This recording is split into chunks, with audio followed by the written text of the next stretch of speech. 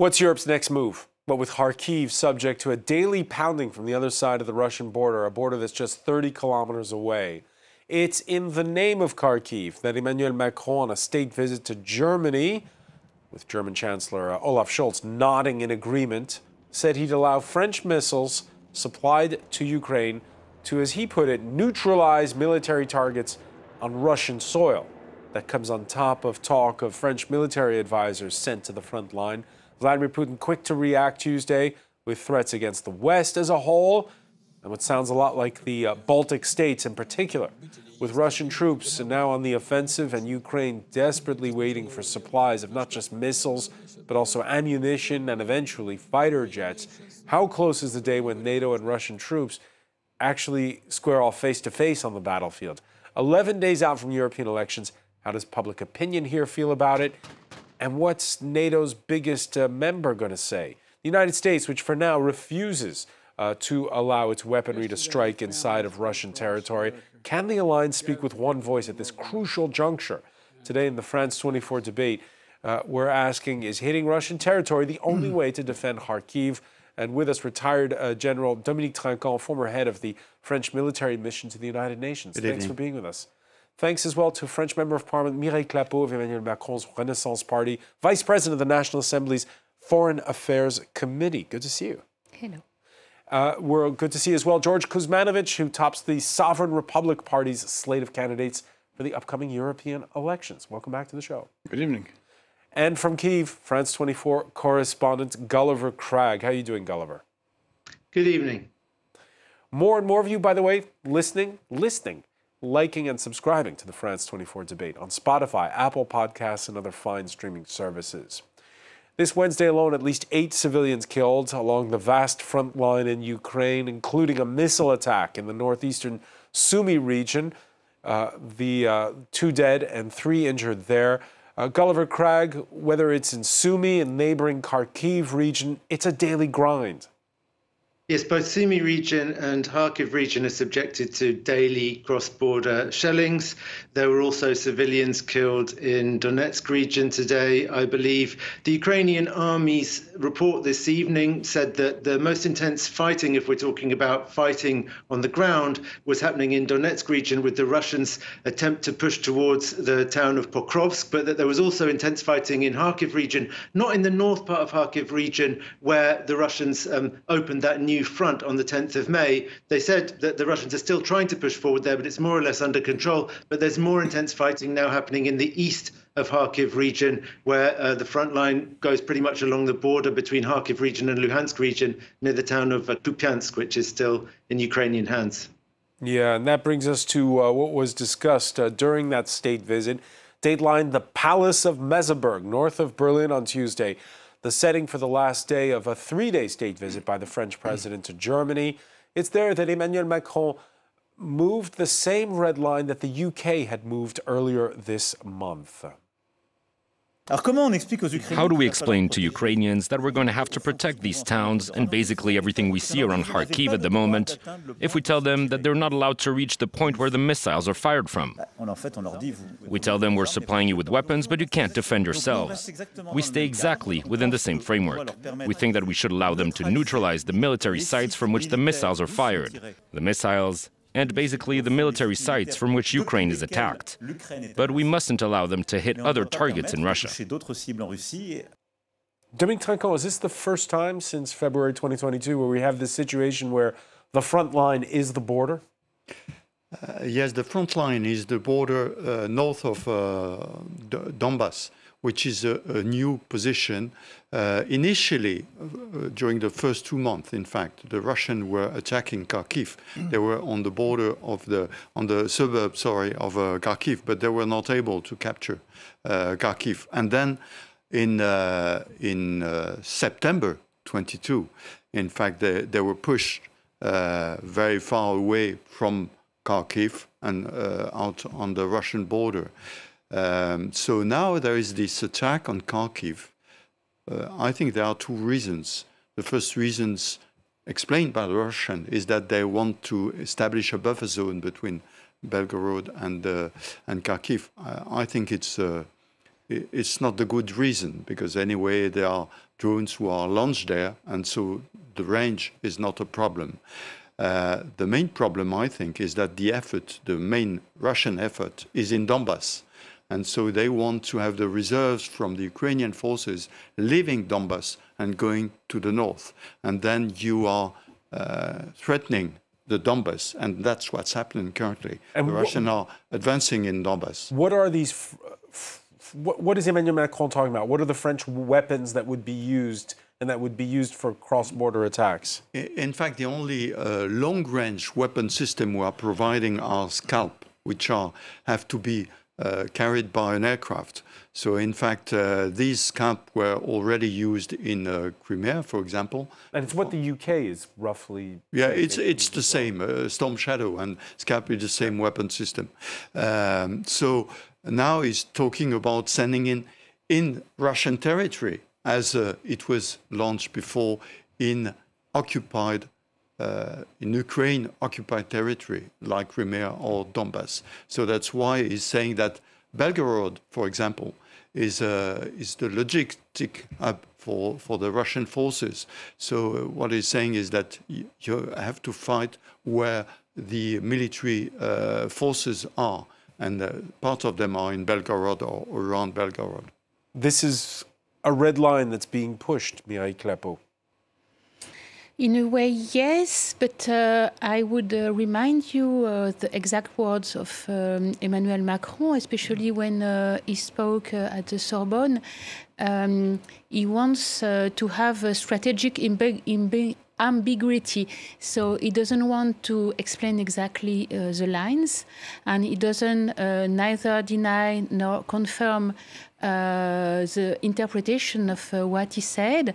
And uh, it's true that uh, now he explains that um, we cannot help Ukraine by delivering weapons. Uh, uh, if we don't allow Ukraine to hit the original points uh, where it it starts from. And uh, in a way, yes, it's a new possibility, but it doesn't mean that it will be done by uh, Ukraine. All right, Macron's strategic ambiguity drawing a sharp warning of consequences for Western countries that supply weapons that hit Russian territory. Vladimir Putin speaking Tuesday on a trip to Uzbekistan. Representatives of NATO countries, especially in Europe, especially in small countries, they must be aware of what they are playing with. They must remember that this is, as a rule, a state with a small territory and a very dense population. And this is a factor that they should keep in mind before talking about striking deep into Russian territory. This is serious stuff. We, of course, are observing and watching this very carefully. Uh, Mireille Clapot, should we be nervous? This is, you know, the president of nuclear armed Russia making threats, what sounds like not just to Ukraine, but uh, to NATO allies.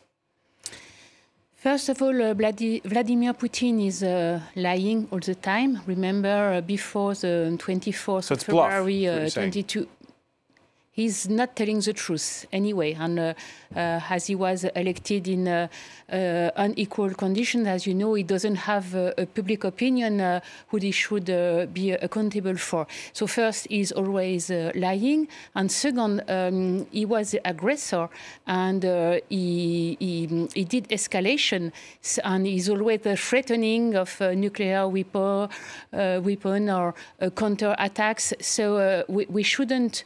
Uh, believe him, and we should establish um, a, a, good uh, a report of uh, forces before. George Kuzmanovic? Well, I agree completely with what General Trinquand said, but we have to be precise. Ukraine has every right to hit Russia while they are in war with Russia. And they did it already. Even Moscow, they're sending drones, and they used all their old Soviet long range missiles. But using scalps for the French and uh, these long-range missiles. Yeah, it's not the, the, they have the right or not the right. Is who is programming those weapons because those weapons are used to uh, hit fixed targets. And most of the Ukrainian military do not have the capacity to program the uh, hitting point. It's military people from NATO who are doing it. So that's why, until now, when it's hitting Crimea or Donbass, well, Russians are closing their eyes. But they perfectly know who is doing that. And that's why all the European leaders were pissed off when uh, Macron blindly said, oh, yeah, it's our guys, British and the French, who are programming those weapons. And that's why uh, the Bundestag and uh, Olaf Scholz doesn't want to send the Tauruses because they will have to to bring military people will program those missiles. And that's the issue.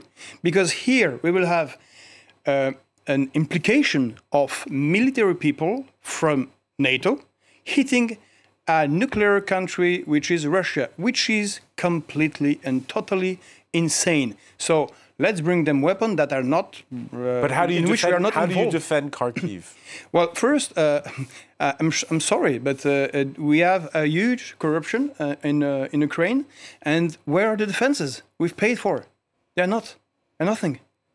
It's, it's, it's, it's catastrophic. They had a year. The Russian did a huge three-line defense when they retrieved from Kherson with during this uh, the the first uh, Ukraine counter successful counter offensive, but no defense have been built. Uh, built, and the same in Sumy. You will have this, uh, the same uh, attack because they will continue to stretch the, the Ukraine reserves.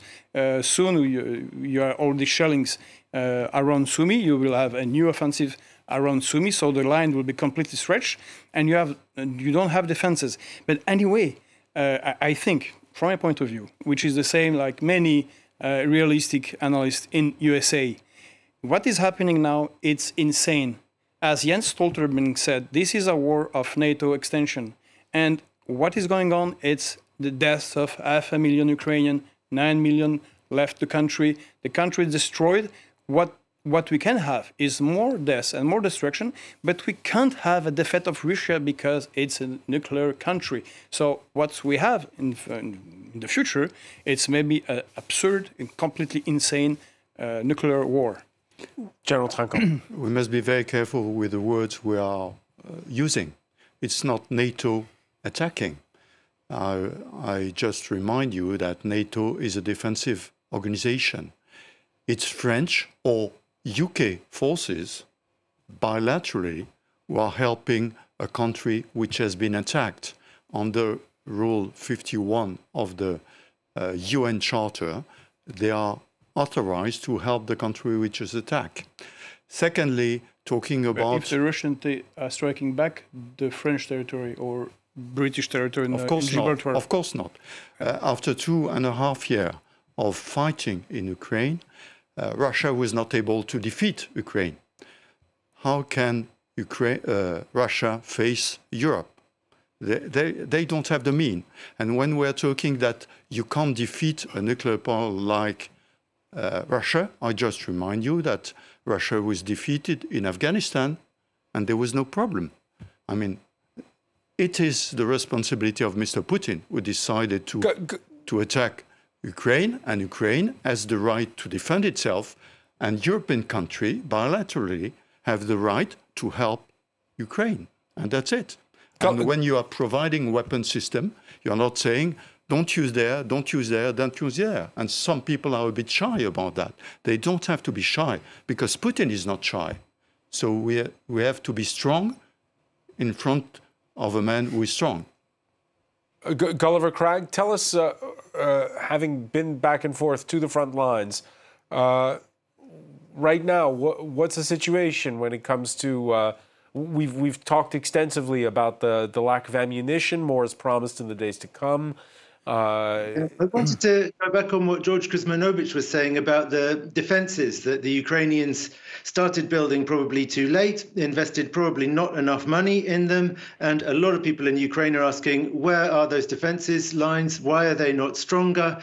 Uh, the fact is that um, there have been a lot of reasons, I mean, to think that there's been corruption. Um, and investigative journalists in Ukraine actually say that in Kharkiv region, it's particularly bad. They can't get any transparent information, even about the price that was paid for the concrete. They say it's a state secret. Whereas in other regions, there's more transparency, which would make us think that there's a particularly bad problem with corruption in Kharkiv region. But all that being said, the Russians opened this front, advanced pretty quickly in the first few days, and now they kind of seem to have been stopped with this new front in the north of Kharkiv. So I wouldn't exaggerate too much much how much of a problem the lack of these defensive lines is being. And of course, it's two separate things the lack of defensive lines that are allowing the Russians to advance in various places along the front line, and the bombardment of cities like Kharkiv, because the missiles, of course, fly over uh, the defensive lines. And what the and the glided bombs, uh, in particular, that are launched from uh, aeroplanes, uh, these um, guided glide bombs, the Ukrainians would like to shoot down the planes over Russian territory. It's not the French um, scalps that they would be using to do that. They'd like to use uh, American-made Patriot weapons, I suppose, and uh, that's kind of a different question. Macron was very precise in saying we can let them strike bases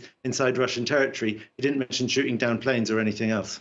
Right. And among those who agree with Emmanuel Macron, the outgoing NATO Secretary General, without naming the United States, Jens Stoltenberg, clearly targeting Washington in remarks he made in an interview with uh, The Economist magazine. But uh, the, the one two punch of Macron and Stoltenberg, not enough to sway the Biden administration.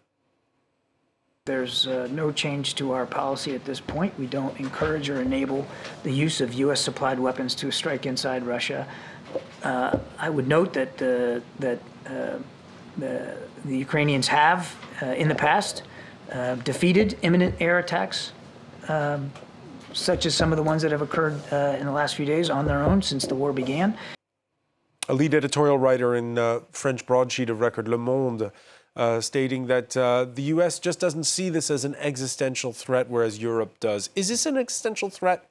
What's going on? What, how do you explain this discrepancy between the French attitude and the American attitude right now? Yes, uh, Europe can die um, if. Um, we do not uh, manage to stop uh, this uh, horrible aggression from Russia. Uh, Russia could come uh, directly to the uh, eastern borders of Europe, and it's, Russia is already. Uh, putting some, um, creating some problems at the borders of uh, Estonia, Finland, uh, Lithuania, and we could imagine that the next step would be a direct threat of Russia to the to Europe. And uh, this is why we have to consider very seriously this threat. And of course, you, you heard Gulliver States, Cragg saying that it, American weaponry can take down planes. How do you, again, do you agree or disagree with the American decision to forbid, for the time being, the use of its long range weaponry uh, over the border in Russia? We should prevent escalation for sure. And uh, we should um, remind international rights. Uh, no civilian uh, should be uh, killed by uh, these weapons. But again, Ukraine has a right to, to have a self-defense against this aggression. Dominique Trinquand, you heard the U.S. position. How do you explain it?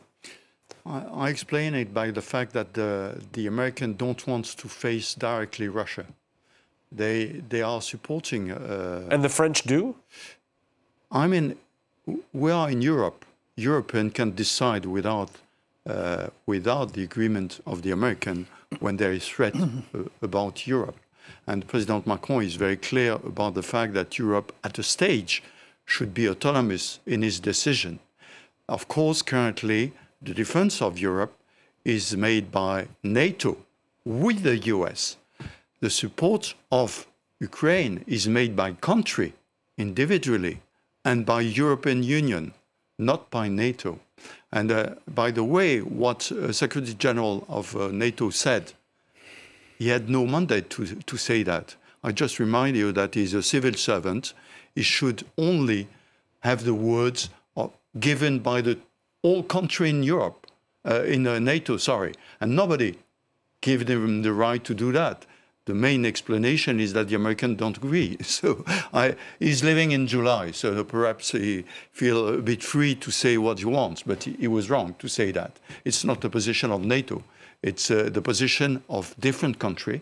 The French have this position, the UK has this position, The Americans don't have this position, and that's it. I, I, mentioned at the outset, George Kuzmanovic, how uh, when Macron was speaking Tuesday, uh, standing next to him was the German Chancellor, who nodded in agreement, but it didn't commit to doing the same thing with uh, German long-range weapons. Yeah, of course. Uh, for the reason I said uh, prior to this, and for the reason you said, because it's a coalition, it's complicated, and the Bundestag voted again, so we cannot do what he wants. Not like our president, who really, I'm sorry, is is an insane person. He almost started a civil war in New Caledonia without listening to anybody saying, "Don't do that in the way you will to do it." He said, "Don't care, I will do it. I'm the boss. It will be end catastrophe, full catastrophe. So it's the same here. He's taking decisions that are very dangerous, and uh, uh, Mr. Cragg know perfectly. Yeah, Russians are not uh, going further uh, in Kharkiv, but they sent fewer uh, battalions without uh, tanks.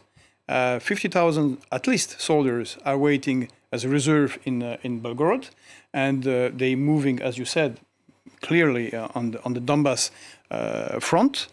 Uh, it's it's a huge problem, and they can push further in on Kharkov with the Kharkiv with the reserves.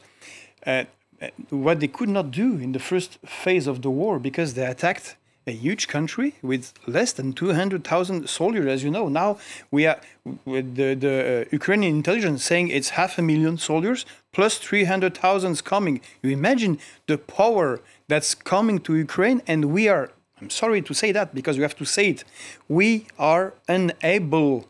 It's not that we don't want, we're sending what we can, we are unable to send weapons. In 91, in France, we had 1,300 tanks. We have 226. What can we do? And it's the same on everything, especially ammunitions. Go, so Gulliver Cragg, seen from where you are in Kiev, how, how, does it look when it turns to when Ukraine, and we've seen the president this week, uh, go sign bilateral deals in places like Spain, Belgium. Uh, how does it seem when they when they look to their uh, to, to, to NATO allies? It all seems extremely worrying because uh, people who you know have a better knowledge of the situation with the arms industry and the political situation in uh, Western allies of Ukraine know that George Kuzmanovic is to a large degree right. There isn't the capacity to give Ukraine the help that may very well be needed. I mean, when you talk to people, what always ends up coming up in conversations is that, you know, hopefully the Russians will screw up somehow, or hopefully something will happen in Russia, or some unexpected black swan event will sort of change the dynamics of what's going on. Otherwise, it does look extremely difficult to see how Ukraine can get together enough manpower and firepower to really push back this um, Russian offensive. On the other hand, it's encouraging that the Russians aren't doing better. I still think that it's surprising and encouraging that they aren't already advancing um, faster than they are. And the other thing that I'd say is that, seen from Ukraine, the idea of the nuclear threat and the idea that any kind of escalation is possible, that's just the thing that you know Ukrainians generally find very exasperating because they just don't believe Russia would use nuclear weapons for various reasons and various arguments that are put forward, and they don't believe any other kind of escalation is possible. Russia is already trying as hard as it can, basically. Now, there's a, another controversy in this country, and that's over boots on the ground. On the eve of uh, Macron's remarks uh, in Germany, the Ukrainian military thanking France, perhaps prematurely, perhaps not, for sending military instructors to help with the deployment of the military hardware we've been talking about. Siobhan Silke has that story. Around 50,000 Ukrainian soldiers have received training in EU countries. But as yet, no ally has sent instructors to Ukraine to conduct drills on the recruits' home soil. On Tuesday, EU Foreign Chief Josep Borrell said member states were split on the prospect. France's government was the first to suggest it might send boots on the ground.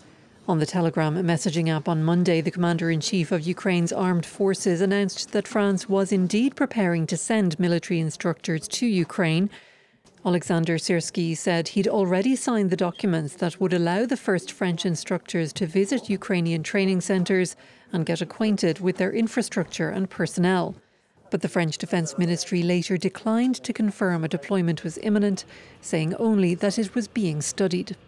Ukraine then backtracked, stating the deployment of trainers was still being discussed with France and other countries. The confusion comes as Ukrainian forces have been struggling to cope with renewed Russian pressure on the front line. On his EU visit this week, President Vladimir Zelensky has got new pledges for military aid. But while hardware is one thing, manpower is another. Ukraine's counter-offensive continues to be hampered by a severe shortage of trained soldiers. General Trinquand, uh, are the instructors coming? Has a deal been signed? What do we know? Uh, probably uh, the agreement uh, have been signed. Uh, you know, chief of defense staff, the French chief of defense staff, was in in Kiev, so he was discussing with the uh, headquarters. So they are organizing the fact that there will be instructor coming in in Ukraine, but the decision is not. Um, taken. Probably the Ukrainians were a bit fast on saying that it, this will happen. I think we'll have the news uh, next week by the president himself.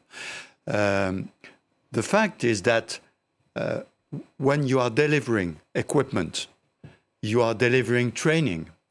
Previously, when we were delivering Caesar uh, guns, for example, the people go, were going in, in which is very far from Ukraine. It took a long time. It was uh, difficult to organize that. The best way is to provide the equipment. Uh, I just remind you that we've got to provide 78 more Caesar weapons to Ukraine. You provide the instructor in situ in Ukraine. Uh, then it will allow Ukrainian instructor to go fighting. And so the French will be there to help Training? Yeah, because where does that instruction take place? Near the front line, not near the front line? Does this constitute boots on the you ground? You can't train soldier close to the front line. You've got to train soldier at a, at a, at a place where is not on the fighting. You need to, to be a bit back from there. But second point, you've got equipment who have been on the ground for two years. And now you've got to maintain lots of this equipment. If you put people who are used to maintain this French equipment, then the Ukrainian will go and fight on the front line. So that's probably what is organized. And, and I guess that everything is organized to do that. The decision has been not put forward. So we'll see that next week, probably. Mireille Clapot, is this mission creep? You know, the, like little by little, without knowing it, the France is directly involved in the war? Maybe a first word. Um, this uh, war is hybrid with uh, a battle on earth, uh, in the air, on sea. There is a hybrid war and there is a war of information. And uh, I do not like when uh, Russian propaganda is uh, relayed on the French soil. Th that's my first point um, of course, little by little, uh, uh, Russia is uh, making progress, and uh, Ukraine uh, lost a lot of time waiting for the aid from uh, the United States and the ammunition from the European states. And now they are helped by North Korea, by China, by Iran, and they have reconstituted their, their troops, their stock of ammunition. So now we have to be very, very rapid, and it's not little by little, uh, it's that uh, we have uh, to help um, Ukraine in a rapid way and to be active to hear General Trinquand say it, it's not mission creep if you're sending instructors and they're not next to the front line. Well, first we know that we have troops on the ground, British, French, American, Canadian, but okay, it's not fighting units. The question is fighting units or not fighting units. That's it. Uh, and what do you mean by on the ground, though? Well, people were uh, helping uh, in the in the general staffs. people were um, doing um, intelligence. Well, it, it, it, that's fine. or some special forces. It's okay. It's it's not real fighting units from a NATO country against Russian troops. Now, the, the, the problem is, well, why not to do what you said? Fine, let's do it. But the problem is what General Trinquand said, is that the first two years of war, the Ukrainians, they had the weaponry, the ammunitions from the old Soviet system, which was their army. Plus, all the eastern country supported them, sending all almost everything they had in stocks, all, all the, the old system, uh, Soviet uh, weaponry system. Now it's destroyed. So they have to fight with what we give them And we are not able uh, to give them what is needed, not but because you don't want, you want, Macron wants, everyone, everybody in Europe wants, but because it's not there. Plus, you have, uh, you had one uh, logic of logistics and maintenance which uh, uh, the Russian they have. Now on the Ukrainian side, it's different logistics, different maintenance chain. It's very complicated when you run a, a, war to have so many different uh, weapon system and not enough. So yeah. that's that's the insanity. So that you can consider it's it's Russian propaganda. But then Kennan, who's dead, Kissinger, who's dead, Mearsheimer, uh, who's uh, still uh, here, and all the realistic Americans are doing Russian propaganda. It's just maths at the end. If you don't have the proper mean to conduct a war plus the manpower, then it's a catastrophe. So Dominique Trinquand, Mireille Clapot and George Kuzmanovic agreeing that Russia has been able to turn to a war economy or, or had helped in doing so faster than the Ukrainians. Now, though, we get back to the role of the United States, who are trying to put the pressure on China. Yeah, sure. Uh, in Russia, it's very easy when you are leading the country as it is. You don't ask the citizen, you just take decision. And you have a, a huge um, history about having a big army and lot of weapons. So it's very easy to do that. Anyway, they were obliged to ask North Korea and Iran to produce weapon system because they have not enough. Uh, the problem is that uh, probably initially, Putin didn't think that he will be in sort, that sort of war. Um, so now he's asking China to help him. And China, as usual, is also lying, like uh, Mr. Putin, is saying, okay, I'm not providing weapon system, but in fact, I'm providing small parts which are used to build weapon system. Uh, so in fact, we are in a position currently in 2024, after the offensive of 2022, uh, second, second on the Russian side, and then on the Ukrainian side, just remind that uh, the Russians were uh, obliged to, to go back east. We are in a sort of balance. The Russian a stalemate. yes, exactly. The Russians are advancing, but very small I mean, uh, I think the aim of uh, Mr. Putin is to conquer the old Donbass and then to say these oblasts, which are annexes to Russia, I'm able to solve them, to save them, sorry. And that's the only thing it can happen. He can't invade Ukraine now. He doesn't have the means, and he knows that after invasion, you have to occupy, and he's not able to occupy Uh, uh, Ukraine. So after having wanted to invade Ukraine in 2022, now he just want to keep what he've got with all these oblasts occupied. Gulliver Cragg the objective here? That's wishful thinking, unfortunately. I think that Vladimir Putin wants to, you know, reassert influence over Ukraine and stop Ukraine from being a democratic, Western looking country. And one way or another will continue to try to do that. Perhaps, yes, at some point there'll be some kind of a ceasefire and Russia remains in control of the parts of Ukraine that it currently occupies only, uh, but that won't be the end of it. I mean, that's generally the view held in Ukraine you know that if it was i think that a lot of people in ukraine if they thought that just giving russia the territory that it currently occupies and maybe a bit more would really solve the problem then a lot more people would be in favor of doing that even though of course i mean it would be absolutely terrible for all the ukrainians um, living in those territories who don't want to be ruled by russia and all of those who fled those territories and are dreaming of going back yeah, uh, yeah. on that point gulliver uh, this week uh, when we saw uh, Volodymyr Zelensky uh, making those rounds, uh, inking that bilateral deal with Spain, going to Belgium, which promised down the road F 16s, uh, Zelensky in Brussels urging Joe Biden to attend his peace summit in Switzerland in two weeks' time, saying if the U.S. president's a no show, quote, it'll be like applauding Putin personally applauding and doing so standing. Why did he use that kind of strong language about uh, what is going to be a talk shop conference in June? I guess it's quite a long shot, you know, a big bet for Volodymyr Zelensky to make using that kind of language when it's absolutely not clear uh, that Joe Biden will attend that summit. I think uh, the latest signals from the United States were more um, along the lines of uh, representation at a lower level than the president. A lot of heads of state, though, in Europe in particular, uh, heads of government, have said that they will attend.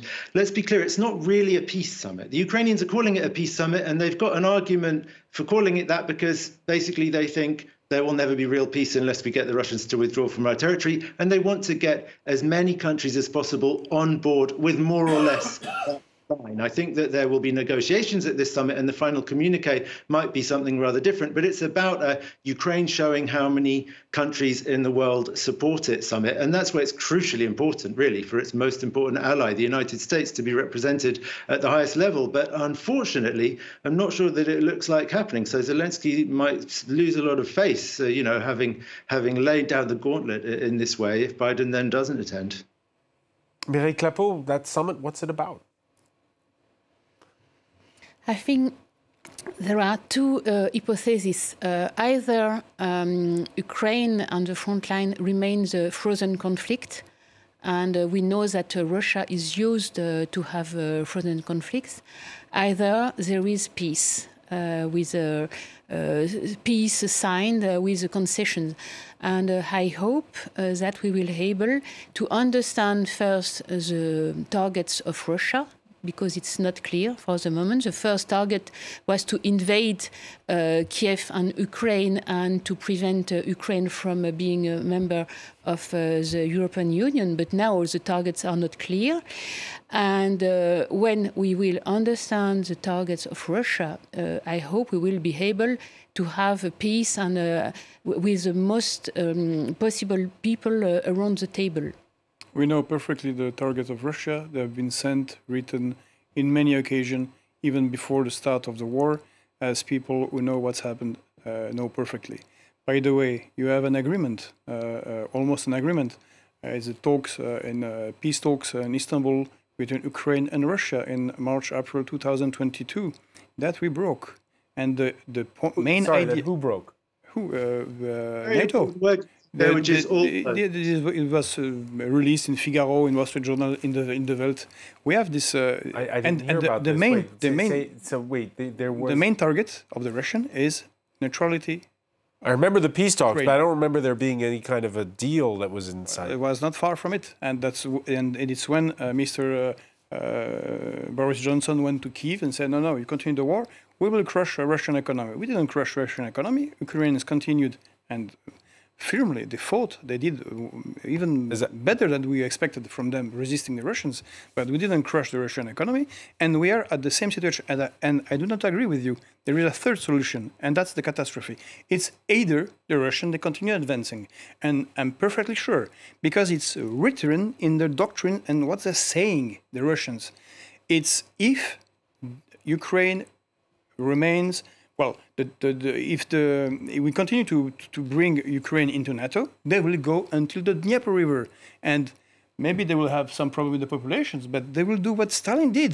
They will just push those who are not willing to live under Russian rule to the west and bring back the, all the Russian Ukrainians, which are 8 to 9 million people in Russia, back in the new occupied territory, which is Kharkov, uh, Sumy, uh, Zaporizhia, uh, and Odessa, even Putin said it. Odessa is a Russian uh, city. What do you mean when Putin said that? He means that he wants to take it. Don't believe uh, it. Well, no, I, I mean, that he wants I to mean, take it uh, completely. How, how That's his reality. How can you say, for example, that Putin is saying that Odessa is Russian?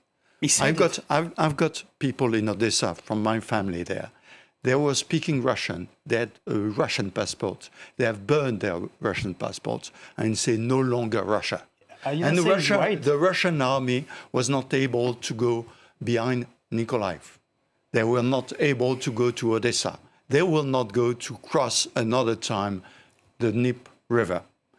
And uh, but going back to a, a more serious uh, problem, which is the the Geneva uh, meeting, my impression is because Russia will not be there, uh, Mr. Biden will probably not be there there will be discussion with the Ukrainian to go how far we will go, where we will start our discussion between us who are allied with uh, Ukraine before going to speak with Russia. And that that's mean that probably, probably, uh, there will be a sort of agreement between Western countries where how far can we go? Are you sure that the international? But isn't that what there's a big NATO summit coming up in July? Isn't yeah. that what that's for? Oh, the NATO summit is something else. I mean, the NATO summit, as you know, uh, NATO is increasing its, uh, its capability in uh, Eastern Europe with uh, 300,000 troops. Right, so, so getting everyone to sing on the same page, uh, from the same hymn sheet, sorry, mixing my metaphors, uh, that, they don't need Geneva for that. No, no, no. I mean, uh, you're not split between the NATO summit, which is something else. It's to defend Europe right. on the border of the current NATO uh, thing, and the summit in Geneva, which is a discussion about how far we'll go to support Ukraine in what Ukraine wants to achieve at the end of the war. And that, that is very important because in 2024, we can say, are you sure that we'll go back to the international border with, the, with Crimea and Donbass back in Ukraine? Or we will not be able to do that? And so we need to have another purpose, another objective. And that, that will be really the discussion in, uh, in Geneva. That's my guess. Gulliver Cragg?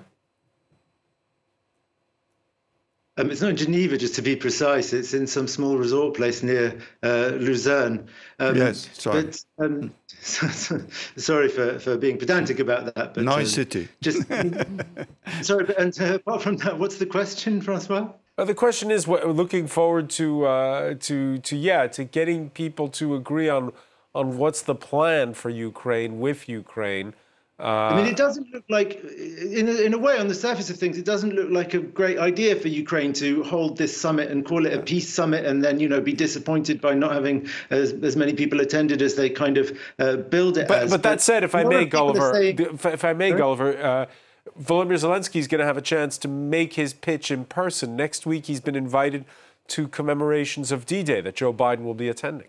Yes, and by the way, there are a lot of rumors in Ukraine at the moment that um, something will be announced uh, about um, French-Ukrainian uh, cooperation at meeting uh, in Normandy. But just going back to the summit in Switzerland, some people are still arguing that it's actually a pretty clever, um, you know, trick on the behalf of the Ukrainian diplomacy to basically have a peace plan that's currently being labeled the Zelensky formula, which he actually outlined in late 2022. You know, which is basically peace can only be achieved if the Russians pull all their forces out of Ukraine. For the sort of plan that Ukraine's allies have signed up to being no longer the Zelensky formula, but a formula that as many countries as possible have signed up to. And it's a way of sort of shoring up their alliances and making their case, which is you know, despite everything uh, that uh, that George Kuzmanovic has been saying, you know, is is that it's hard to imagine any kind of peace uh, if Ukraine doesn't win this war, despite the fact that it looks